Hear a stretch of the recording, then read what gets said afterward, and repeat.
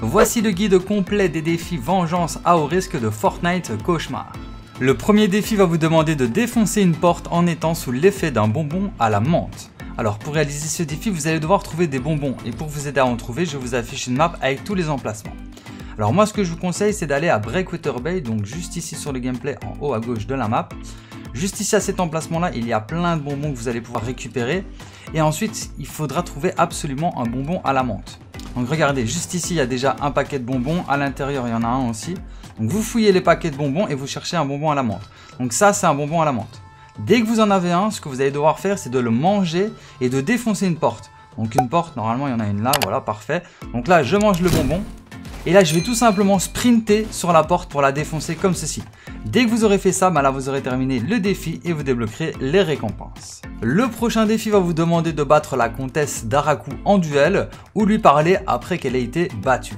Donc pour réaliser ce défi, vous allez devoir vous rendre juste ici à côté de Eclipsed Estate, donc à cet emplacement là dans ce château, vous aurez justement le personnage Comtesse d'Araku. Donc pour réaliser le défi, soit vous la provoquez en duel et vous la battez, donc juste ici, vous la battez, ou soit euh, si quelqu'un l'a déjà battue avant vous, elle va être transparente. Donc regardez, là je vais la battre en duel. Voilà, là je l'ai battue en, en duel et là elle va réapparaître en transparente normalement. Voilà, elle est juste ici. Donc soit vous la battez en duel pour réaliser le défi, ou soit vous lui parlez quand elle est transparente comme ceci pour réaliser le défi.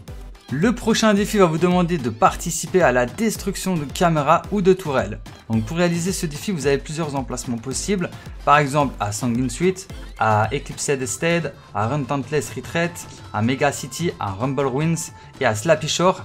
À tous les emplacements que je viens de vous citer, il y a des caméras et des tourelles. Donc les caméras, c'est tout simplement celle-ci. Et ce que vous allez devoir faire pour réaliser le défi, c'est d'en détruire 5 ou alors détruire 5 tourelles. Donc les tourelles, bon là il n'y en a pas, mais c'est des tourelles automatiques qui vous tirent dessus. Donc dès que vous aurez détruit 5 tourelles ou 5 caméras, bah là vous aurez terminé le défi. Et pour finir, le dernier défi va vous demander d'infliger des dégâts à des adversaires pendant une lune de sang. Donc pour réaliser ce défi, vous allez devoir attendre qu'il fasse nuit dans Fortnite. Et quand euh, bah, il fera nuit, bah, il y aura une lune de sang qui va apparaître. Et à ce moment-là, vous allez devoir faire 200 de dégâts aux adversaires pour terminer le défi et débloquer les récompenses.